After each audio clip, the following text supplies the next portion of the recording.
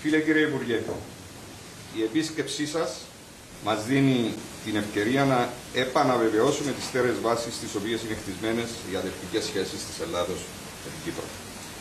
Με τη σύσταση του Ανωτάτου Συμβουλίου Διακυβερνητικής Συνεργασίας που ανακοίνωσαν ο Πρόεδρος της Κυπριακής Δημοκρατίας και ο Πρωθυπουργός της Ελλάδος στην πρώτη τους συνάντηση μετά την ανάληψη των καθηκόντων της δικής μας κυβέρνησης, σε συνδυασμό με την ενεργοποίηση του πολιτικού οργάνου διαβούλευσης των Υπουργείων Άμυνας επί θεμάτων αμυντικής συνεργασίας που συμφωνήσαμε στην Αθήνα, σκοπεύουμε να εμβαθύνουμε περαιτέρω τη συνεργασία μας ενισχύοντας τις δομές διαβούλευσης και το συνολισμό ενεργειών στην αντιμετώπιση κάθε κοινής πρόκλησης και απειλής. Η συνέχιση της πορείας ενίσχυσης των τριμερών και πολυμερών περιφερειακών αμυντικών μας σχημάτων και η διεύρυνση των θεμάτων κοινού ενδιαφέροντος σε νέα αναδυόμενα ζητήματα όπως η κυβερνοάμυνα και η κλιματική αλλαγή είναι μόνο μέρος των κοινών μας στόχων που έχουμε θέσει. Με τη συνεργασία μας έχουμε πετύχει η Ελλάδα και η Κύπρος να διαδραματίζουν καθοριστικό ρόλο στην περιοχή της Ανατολικής Μεσογείου και να αποτελούν ελκυστικούς εταίρους και αξιόπιστους συνεργάτες σε περιφερειακό, ευρωπαϊκό και παγκοσμίο επίπεδο. Αυτό μαρτυρούν η πληθώρα των συνεργασιών που έχουμε από κοινού αναπτύξει τα τελευταία χρόνια και με τη δική σας καθοριστική συμβουλή, κύριε Πρόεδρε, εκ της προηγούμενης σας ιδιότητας ως Υπουργός Εξωτερικών της Ελλάδος. Αναφορικά με τη συνεργασία μας εντός της Ευρωπαϊκής Ένωσης για την εκμετάλλευση των διαφόρων ευρωπαϊκών πρωτοβουλειών στον τομέα της άμυνας, με ιδιαίτερη ικανοποίηση σημειώνω ότι η Κύπρος και η Ελλάδα είναι ενεργοί δρόντες σε υψηλό επίπεδο συμμετοχής σε ευρωπαϊκά προγράμματα τόσο της ΠΕΣΚΟ όσο και του Ευρωπαϊκού Ταμείου Άμυνας. Οι νέες προοπτικές που διανοίγονται μέσω των νέων πολιτικών της Ένωσης για προγράμματα κοινής προμήθειας αμυντικού υλικού μεταξύ των κρατών μελών της είναι κάτι που μας ενδιαφέρει και ενεργά θα επιδιώξουμε στο μέλλον. Σε αυτό το πλαίσιο εντάσσεται και η πρόσφατη συμμετοχή της Κύπρου στο πρόγραμμα κοινής προμήθειας πυράβλων Μιστράλ με τη Γαλλία και άλλα τρία κράτη της Ευρωπαϊκής Ένωσης. Όλες μας οι ενέργειες έχουν ένα και μόνο σκοπό. Την ενδυνάμωση της αποτελεσματικής μας ικανότητας και την ενίσχυση της επιχειρησιακής μας ετοιμότητας έναντι σε κάθε απειλή, κάθε επιβουλή και κάθε αποσταθεροποιητική συμπεριφορά τόσο στην Κύπρο όσο και ευρύτερα στην Ανατολική Μεσόγειο. Η τουρκική στρατιωτική κατοχή παραμένει η κύρια απειλή και ως εκ τούτου δεν μπορούμε να εφησυχάσουμε. Η Ελλάδα είναι ο σταθερός και ανιδιοτελής μας παραστάτης. Εν ώψη της θλιβερής μαύρης επαιτίου της τουρκικής εισβολής της 20 Ιουλίου του 1974, τονίζουμε ότι η Κυπριακή Δημοκρατία και ως Κυπριακή Δημοκρατία παραμένουμε αταλάντευτα προσιλωμένοι στην υπεράσπιση των κυριαρχικών μας δικαιωμάτων, του διεθνούς δικαίου και των θεμελιωδών αξιών της Ευρωπαϊκής Ένωσης, ή της ανθρώπινης αξιοπρέπειας, της ελευθερίας, της δημοκρατίας και των ανθρωπίνων δικαιωμάτων. Φίλε κύριε Υπουργέ, σας εύχομαι κάθε επιτυχία στα νέα σας καθήκοντα, ευελπιστώ στη στενή και παραγωγική συνεργασία μεταξύ των Υπουργείων μας, προς όφελος της άμυνας, της ασφάλειας, της Κύπρου και της Ελλάδος, της Ελλάδος και της Κύπρου.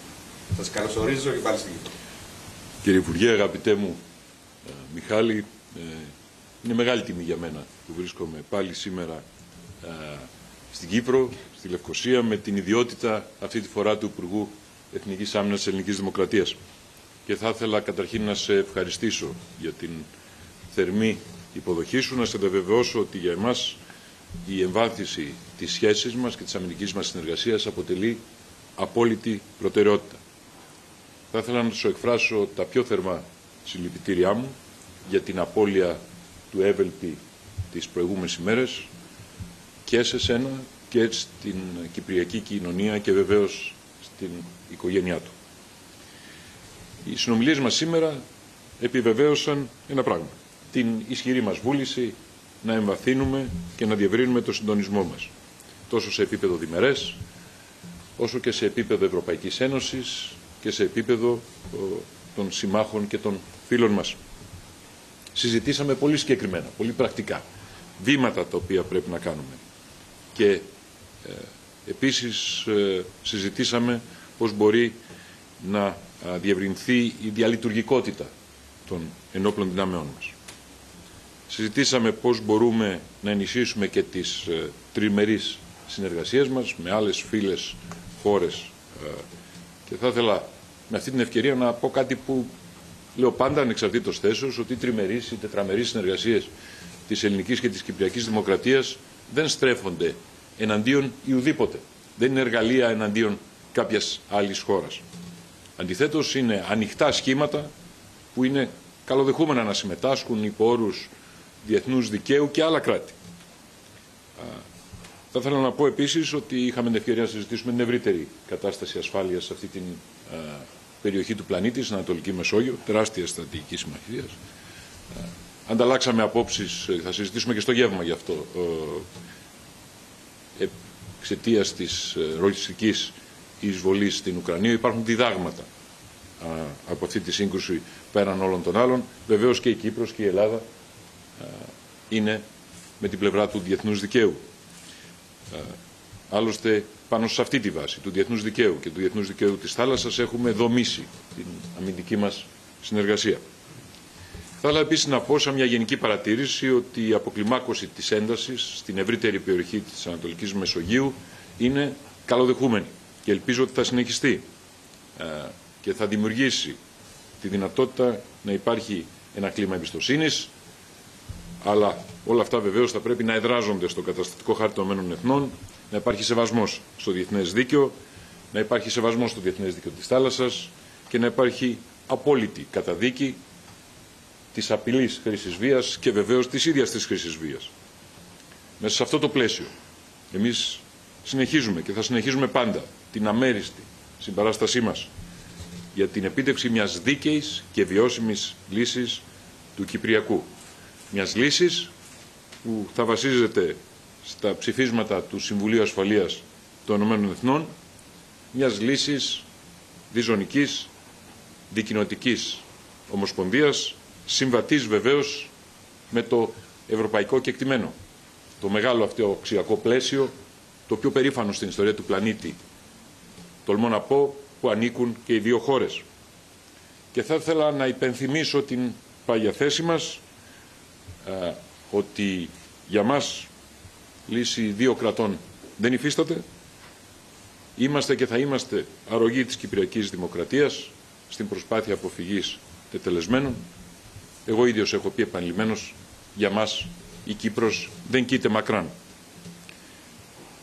Θα ήθελα να πω ότι σαν νέος Υπουργός Άμυνας είχα την ευκαιρία να εκφράσω στο φίλο Υπουργό την, ε, τα συγχαρητήριά μου για την ε, ενίσχυση των δυνατοτήτων της ε, Κυπριακής Δημοκρατίας και για τους σχεδιασμούς που ο πρόεδρος Χριστοδουλίδης, ο Υπουργός και η κυβέρνηση, η Κυπριακή κυβέρνηση έχουν κάνει για το μέλλον. Ε, οι δύο χώρες, οι δύο αυτές δημοκρατίες, η Ελλάδα και η Κύπρος, θα είναι πάντα μαζί στην πρώτη γραμμή. Πώς όμως, ως προπήγια σταθερότητας, ασφάλειας και ειρήνης στην περιοχή μας. Μιχάλη, Προσβλέπω στην παραγωγική μας συνεργασία. Είναι μεγάλη μου χαρά που κουβεντιάσαμε σήμερα εκτενώς ε, τα θέματα που μας απασχολούν και περιμένω με ιδιαίτερη χαρά να σου ανταποδώσω την φιλόφρονα φιλοξενία στην Αθήνα. Να είσαι καλά. Λοιπόν, ακούσαμε έτσι τις δηλώσεις ε, των δύο Υπουργών ε, Άμυνας, Εθνικής Άμυνας ε, της Ελλάδος, Νίκου Δένδια, που είναι η πρώτη του επίσκεψη ως Υπουργός Εθνικής Άμυνας. Το είπε και ο